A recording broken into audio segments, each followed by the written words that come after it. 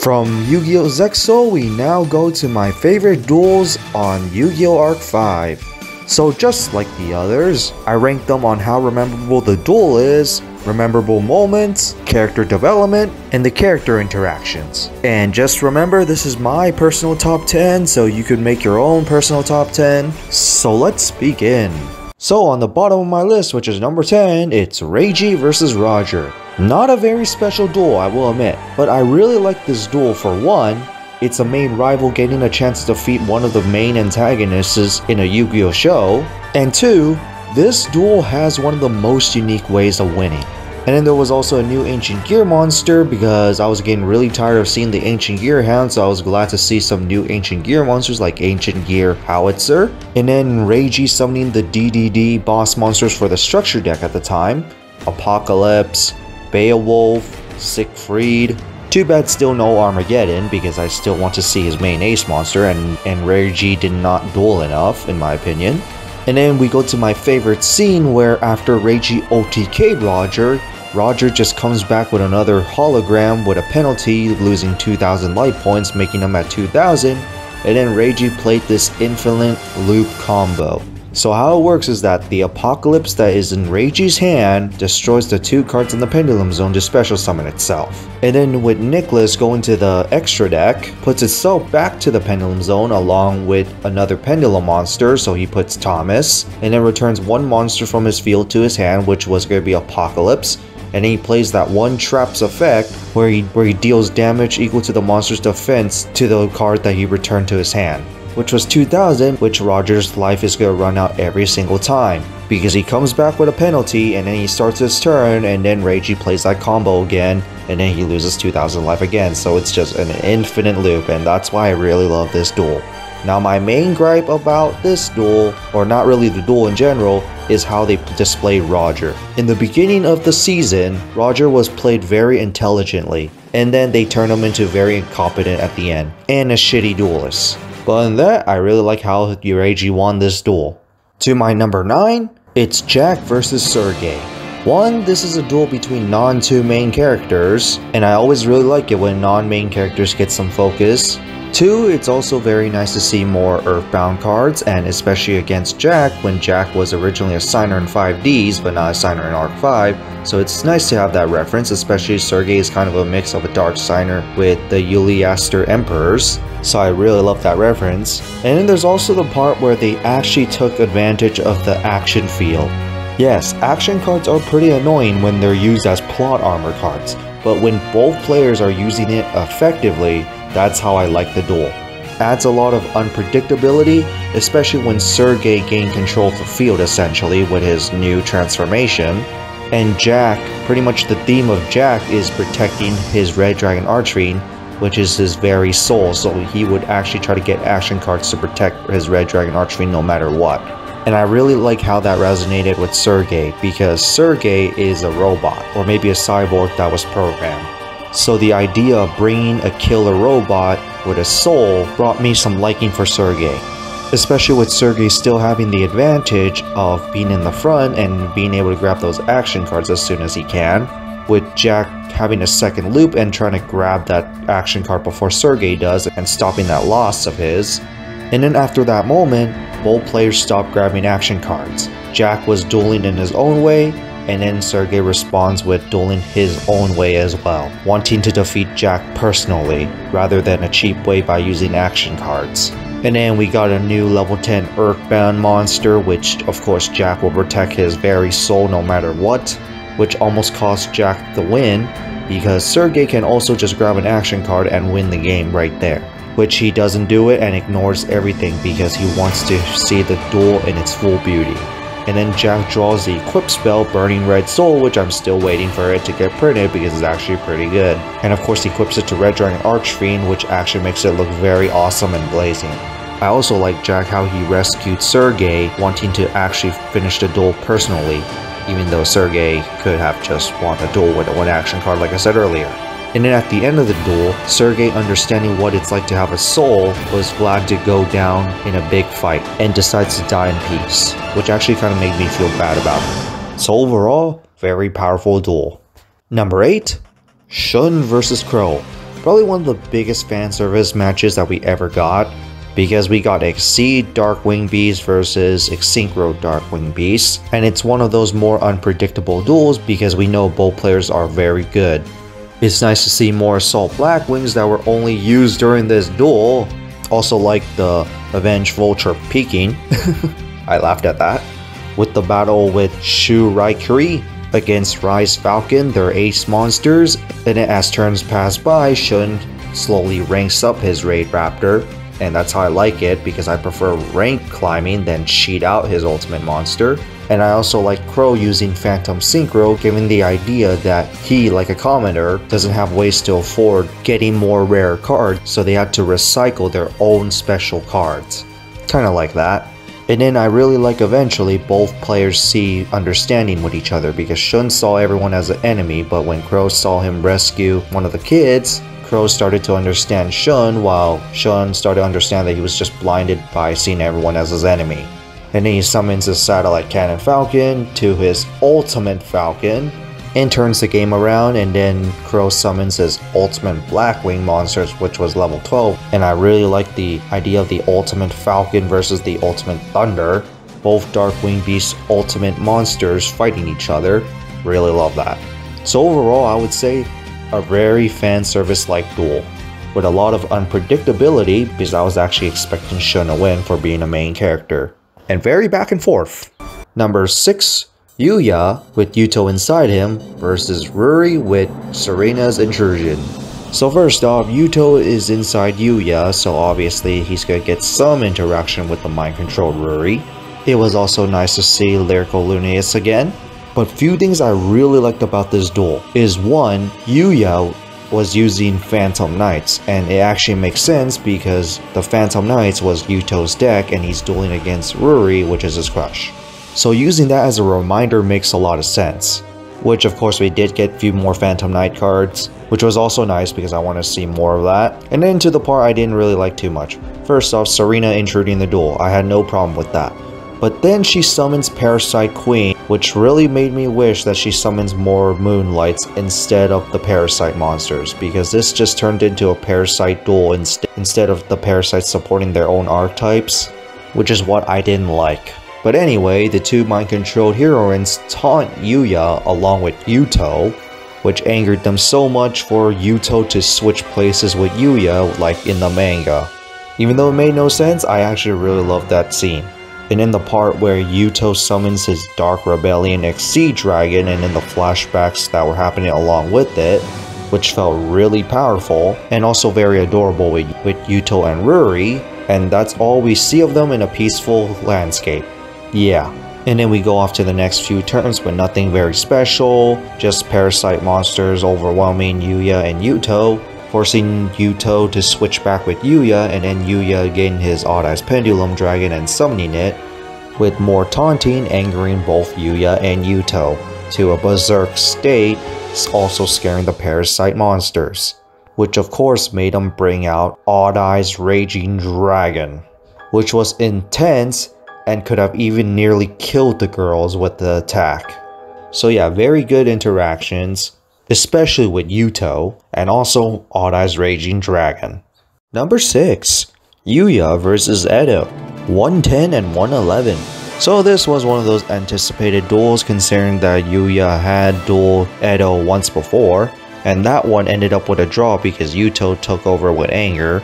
But one of the major factors why I like this duel was that Edo played a field spell that made it look like a cage, so it made it look more like a death match, and also used chains to hold Yuya so he cannot run to get action cards, which makes a lot of more unpredictability because now Yuya can't use those plot armor cards as much. Bringing a little more unpredictability and making me wonder how Yuya's gonna get out of this because it's kind of predictable that Yuya was gonna win. We got to see Dystopia again, and also a new Odd Eyes monster called Brave Eyes Pendulum Dragon, which was only summoned one time throughout the show.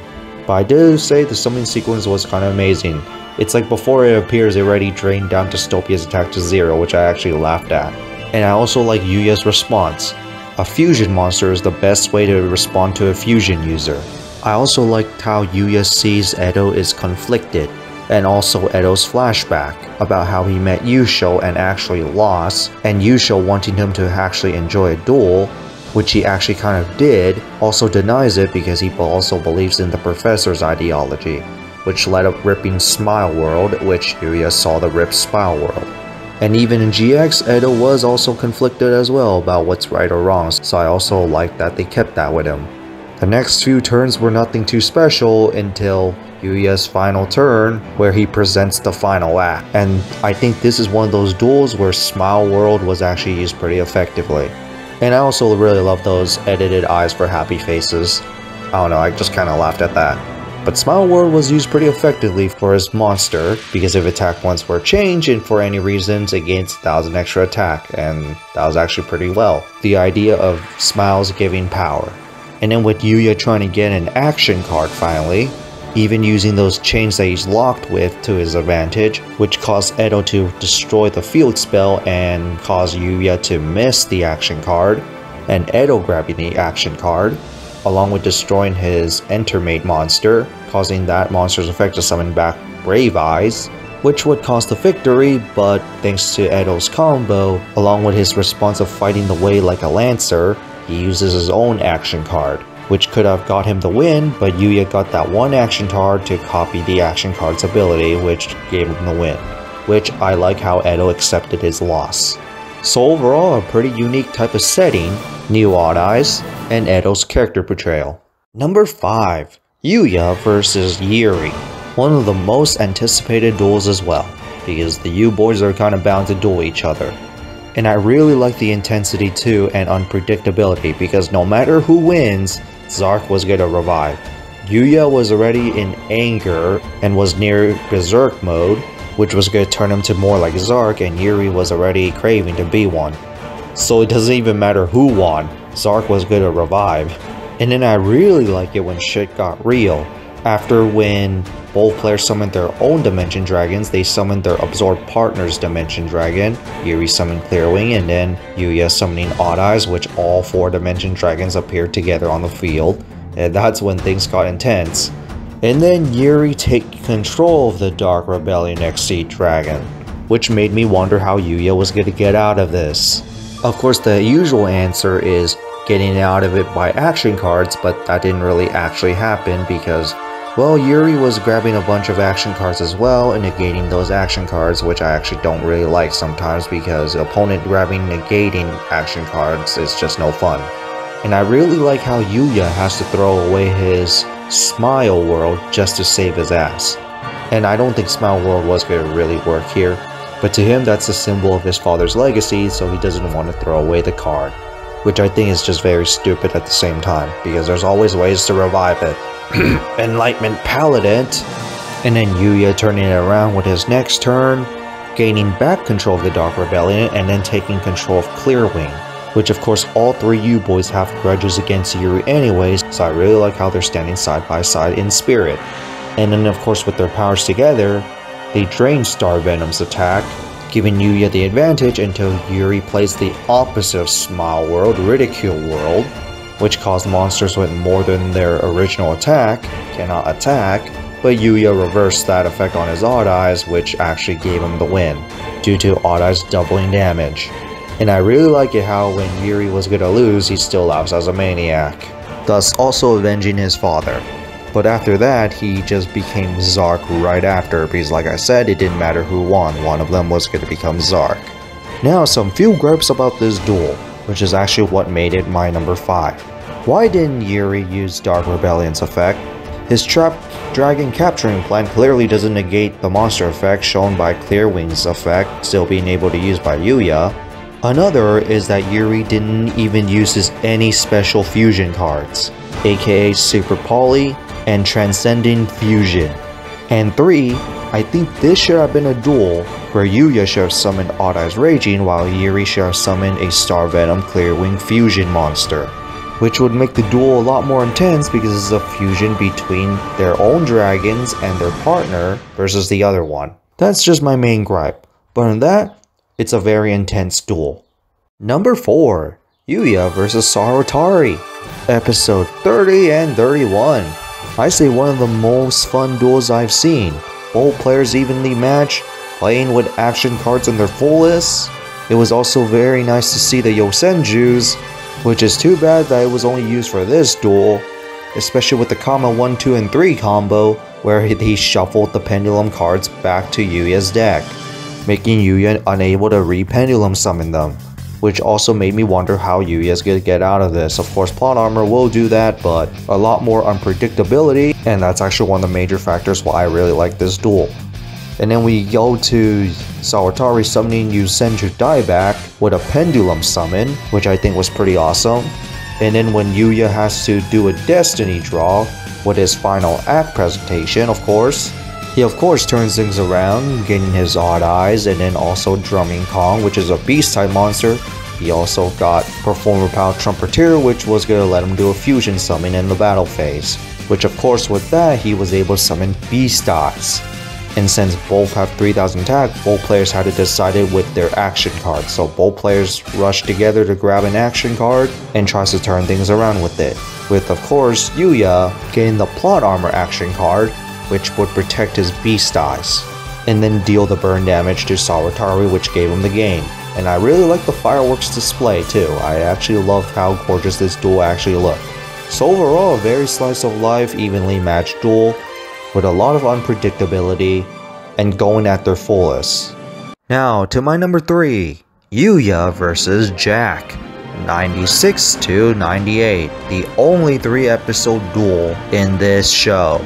Very anticipated duel, especially when Yuya already lost to Jack once, and Yuya wanted trying to respond to Jack with his own way of dueling. Jack summoned his Soul Red Dragon Archfiend like usual, and with Yuya failing it to turn it around. And I really like this part. The Sector Security Force entered the duel in a battle royal, but Jack saved Yuya and then nukes all the monsters with his Red Dragon Archfiend which actually was very unfair.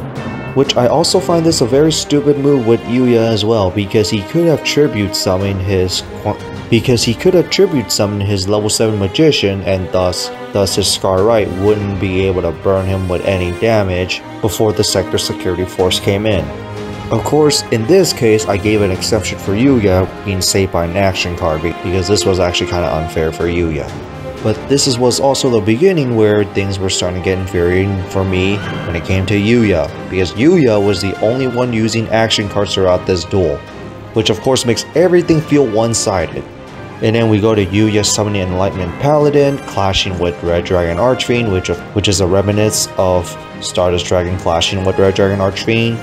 And then with Jack trying to get Yuya understanding his own way of dueling, Yuya realizes that he was the first one to perform the Pendulum Summon, and thus he created his own new Pendulum Synchro and summoned the Nirvana High Paladin, which didn't really do much as a monster. And then with that response, Jack summoned his new Red Dragon Archfiend, his first time summoned Red Dragon Archfiend Tyrant, which of course Jack could have won by using just regular Scarlight's effect, and just burn Yuya with 500 points of damage, but okay. But it's nice that we got a little callback with Shooting Star versus Red Nova, which of course Yuya was going to survive the turn, and of course with the final Pendulum summon in the duel, which actually looked amazing. I really love those monsters flying around the sky before appearing to the field. And then we go to the next episode where where Yuya tries to turn things around and also played Smile World, which I think in this duel was used pretty effectively. Even lowering Tyrant's attack, which of course with Jack, he reversed that and raised his Tyrant to 10,000 attack. And I also like the visual shot of Red Dragon Archfiend flying around the bridge, along with Jack, that was actually pretty awesome. And then with Nirvana High Paladin's effect, I really like the symbolism with that card too, where if the weak fights together, they become strong as one. Hence Nirvana High Paladin's anime level gimmick, where every time you want to decrease one of your opponent's monster attack through an attack, it has to be at least one level higher from the previous monster. I actually really like that, which of course leads up to the Odd Eyes Pendulum Dragon delivering the final attack as that's his main ace monster being level 7. And then of course Jack accepting his defeat, along with declaring Yuya as the new king. So yeah, overall very good duel. Like I said with my main gripe, Yuya is the only one using action cards in this duel, and also Odd Eyes Rebellion Dragon not actually appearing despite the opening showing that it's clashing with Red Dragon Archfiend. How could have this happen? Not the first time though. But other than that, very enjoyable duel. To my number 2, Yuya versus Reiji, 50 and 51. So it's a standard protagonist versus rival duel. Yuya's in anger still developing, while Reiji still dominates and recruits him along with everyone else who survived the tournament as Lancers. And also, no action cards in this whole duel, giving out no plot armor cards. And the duel was actually pretty evenly matched as well, with Reiji summoning his three kings, and then Yuya responding with summoning his Rune Eyes and Beast Eyes in the same turn, which is actually a first, and I really like seeing that.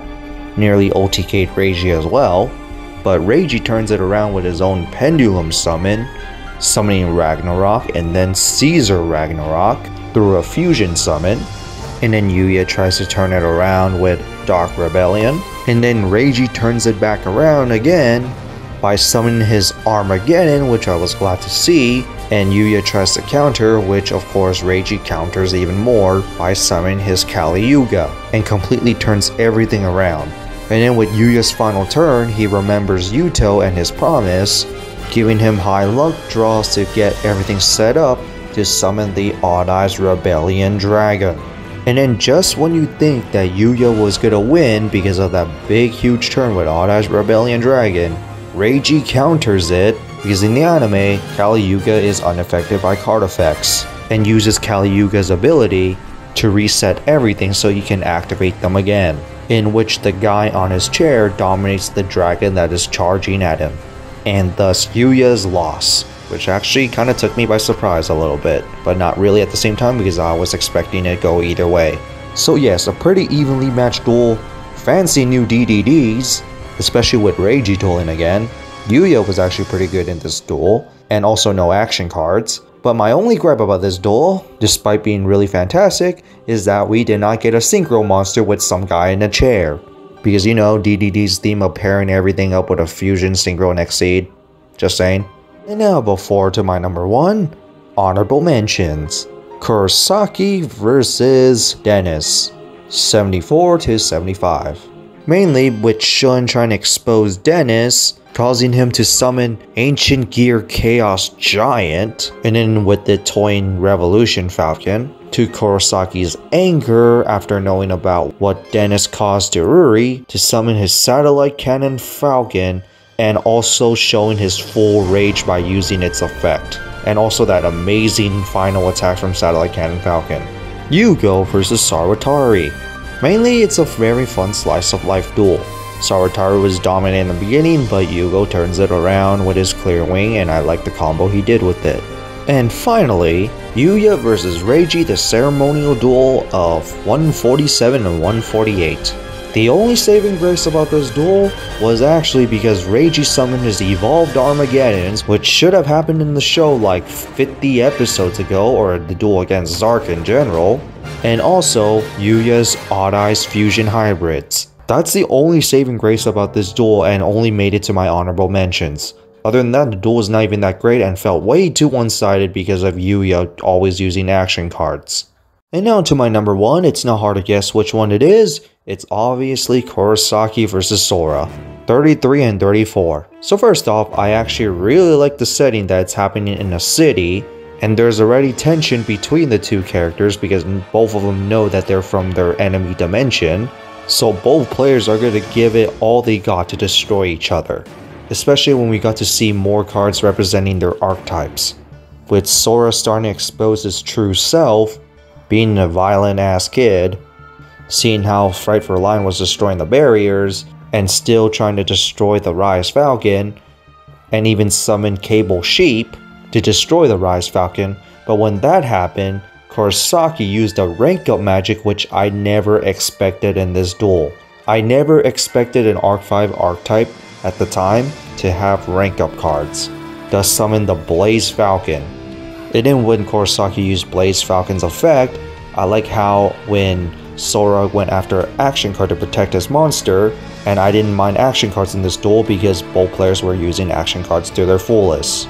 So when Sora protected his monster with his action card, I like how the deflected barrier was destroying the city around them, making it look like a war zone, which is a nice symbolism of where Kurosaki lives.